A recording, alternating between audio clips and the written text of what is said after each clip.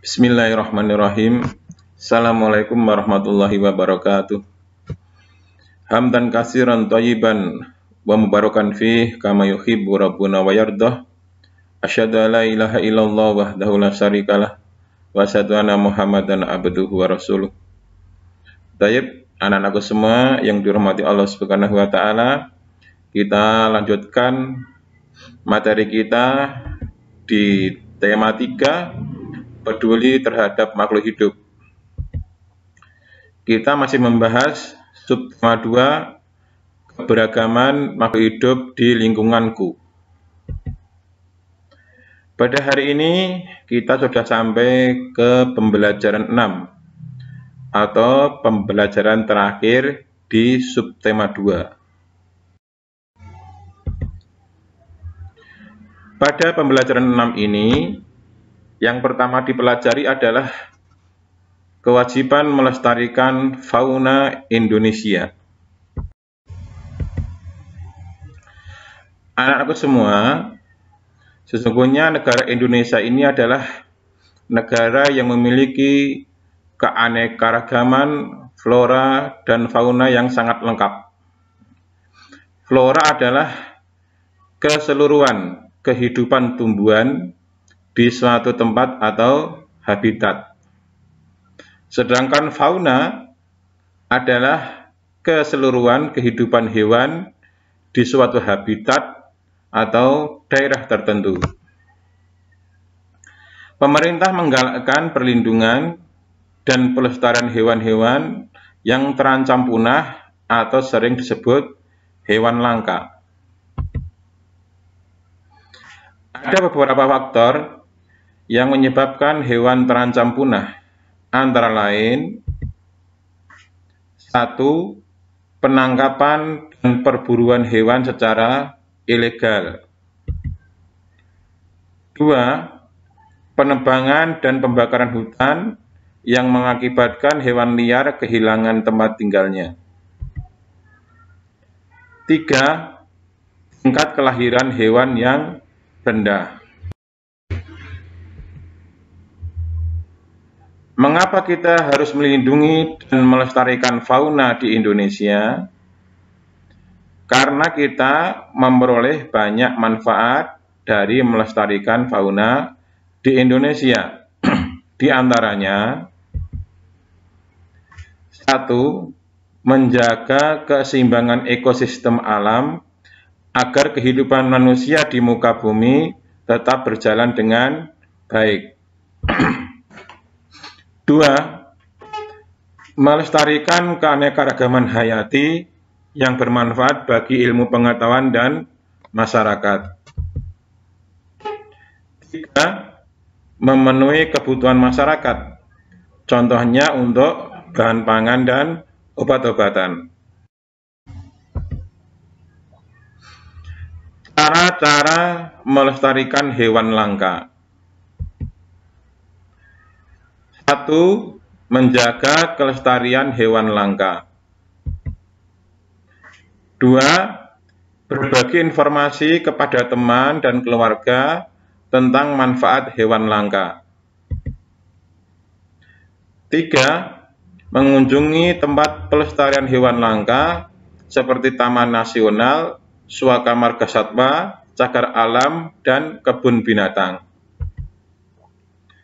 4. Menghindari pemakan produk yang terbuat dari spesies atau hewan langka. 5. Melaporkan kepada pihak yang berwajib jika mengetahui adanya perburuan liar. Kemudian anak-anakku semua, materi di pembelajaran 6 ini yang selanjutnya adalah menulis laporan hasil wawancara. Jadi, setelah anak-anak melakukan wawancara, langkah yang terakhir adalah menyusun laporan wawancara. Untuk Menyusun laporan wawancara itu tidak boleh sembarangan. Ada urutannya.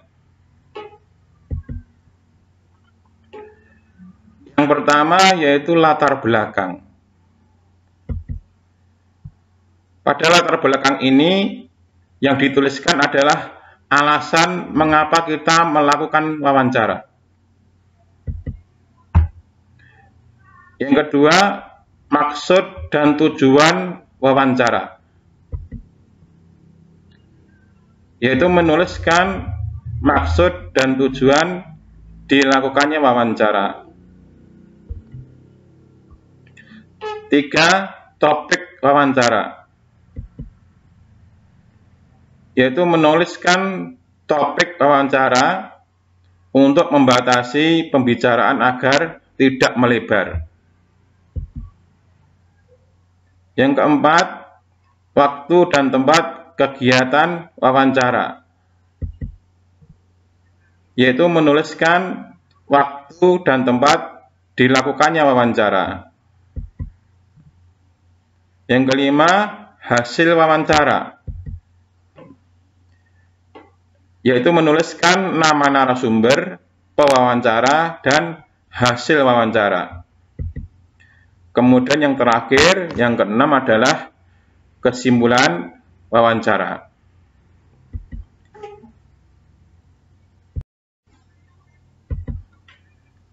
Kemudian anak-anakku yang dirahmati Allah Subhanahu wa taala, di sini ada sebuah contoh di dalam menuliskan laporan hasil wawancara secara urut dan benar.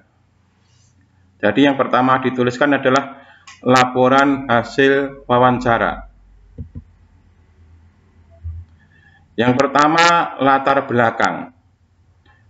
Latar belakang yaitu menuliskan alasan dilakukannya wawancara. Di sini disebutkan kami siswa kelas 4 mendapat tugas melakukan wawancara tentang tumbuhan dan hewan di sekitar tempat tinggal kami. Jadi alasan melakukan wawancara itu apa? Mendapat tugas untuk melakukan wawancara tentang tumbuhan dan hewan di sekitar tempat tinggal kami. Kemudian yang kedua, maksud dan tujuan wawancara. Tujuan dari kegiatan ini adalah untuk menggali informasi lebih lanjut dan memperdalam pemahaman kami tentang berbagai hewan dan tumbuhan di sekitar tempat tinggal kami. Yang ketiga adalah topik wawancara. Supaya pembahasannya tidak melebar, maka dibatasi. Yang dijadikan tema wawancara adalah hanya tumbuhan dan hewan di Kampung Indah Jaya. Kemudian yang keempat, waktu dan tempat kegiatan wawancara. Wawancara ini dilaksanakan pada hari tanggal Sabtu 7 November 2019 Waktu pukul 8 sampai 10. Tempat Kampung Indah Jaya. Kemudian yang kelima, laporan hasil wawancara. Di situ dituliskan narasumber orang yang diwawancarai, yaitu Bapak Santoso, Ketua RW 1 Kampung Indah Jaya. Wawancara Joko Priyadi. Hasil wawancara tumbuhan di lingkungan tempat tinggalku tumbuh subur. Kemudian yang keenam, kesimpulan wawancara, yaitu menuliskan kesimpulan hasil wawancara. Kemudian anak-anakku semua yang dirahmati Allah Subhanahu wa taala, kalian kerjakan soal-soal berikut ini. Kutipan wawancara berikut ini hanya untuk nomor satu, jadi bintang itu bertanya kepada Pak Khairul. Kemudian jawaban Pak Khairul sudah ada di situ. Kira-kira pertanyaannya bintang seperti apa? Ini nomor satu. Kemudian nomor dua, mengapa hewan langka perlu dilindungi dan dilestarikan? Demikian anak-anakku semua pelajaran pada hari ini. Semoga kalian semuanya dimudahkan oleh Subhanahu wa taala di dalam memahami materi ini. Marilah kegiatan pembelajaran pada hari ini kita tutup dengan doa kafaratul majelis. Subhanakallahumma wa bihamdika asyhadu an la ilaha illa anta astaghfiruka wa atubu ilaik. Assalamualaikum warahmatullahi wabarakatuh.